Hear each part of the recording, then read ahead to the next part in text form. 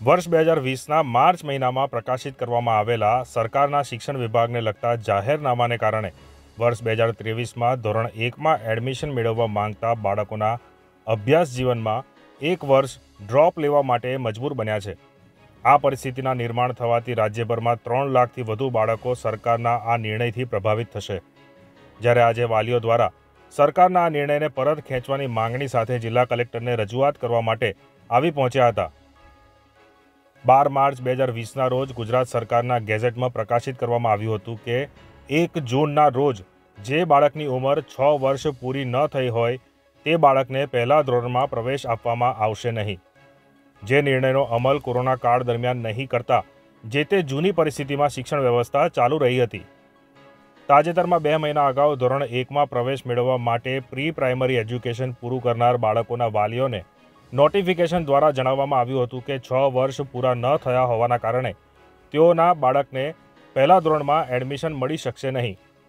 રાજ્ય સરકારના આ નિર્ણયથી રાજ્યભરમાં પ્રથમ ધોરણમાં પ્રવેશ મેળવવા માટે સક્ષમ ત્રણ લાખથી વધુ બાળકોને પોતાના અભ્યાસ કાર્યકાળ દરમિયાન એક વર્ષ ડ્રોપ લેવાની પરિસ્થિતિનું નિર્માણ થયું છે.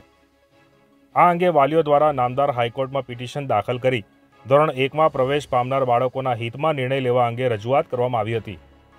જે પિટિશનમાં મૌખિક રજૂઆત કરતાં જણાવવામાં આવ્યું હતું કે પાંચ વર્ષ પૂર્ણ થઈ ગયા હોય તેવા બાળકોને વર્ષ બે હજાર ત્રેવીસ ચોવીસના વર્ષમાં શાળામાં પ્રવેશ આપી શકાશે. પરંતુ હાઈકોર્ટના આ પરિપત્રનો પણ શાળાઓએ અમલ ન કરતા અનેક બાળકોના ભાવિ એક વર્ષ માટે થંભી જશે.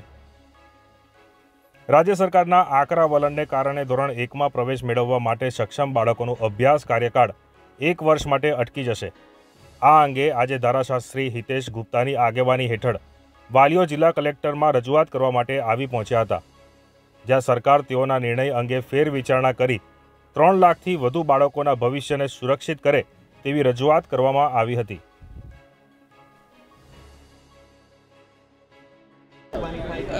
गुजरात राज्य के तीन लाख बच्चे के जो फर्स्ट स्टैंडर्ड में अब एडमिशन के लिए हकदार है जिन्होंने सीनियर केजी ख़त्म कर ख़त्म कर लिया है और अब वो फ़र्स्ट स्टैंडर्ड में आने जा रहे हैं, तब जाकर स्कूलों से, स्कूलों ये बता रही है कि उनको आइधर रिपीट करवाना पड़ेगा सीनियर केजी या एक साल के लिए उनको घर पर बिठा देना पड़ेगा। ये दोनों ही ऐसी परिस्थिति है कि जिसमें बच्चों के मानस के ऊपर, उनकी मेंटल हेल्थ के ऊपर बहुत गहरा असर पड़ सकता है।